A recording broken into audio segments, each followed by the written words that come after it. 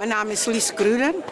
Ik ben oma en ik vertel aan mijn kleinkinderen, en mijn kinderen heb ik het ook gedaan, altijd Anansi-verhalen. Ik heb nu het verhaal verteld van de weddenschap tussen Anansi en de tijger. Wie is er slimmer, wie is er sterker?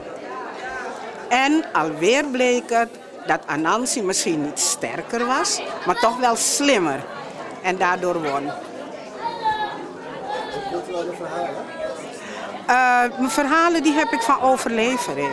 Mijn moeder vertelde, mijn grootmoeder vertelde. En die hebben het weer... Uh, nou, je kan eigenlijk zeggen dat deze Anansi-verhalen gaan van generatie naar generatie naar generatie.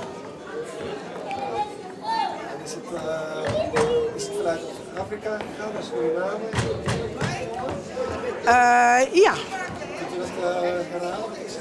Ja, het is gegaan vanuit Afrika, Suriname. En toen heeft Anansi het vliegtuig gepakt en dacht, ik ga naar Nederland. Vandaar dat Anansi nu ook hier is.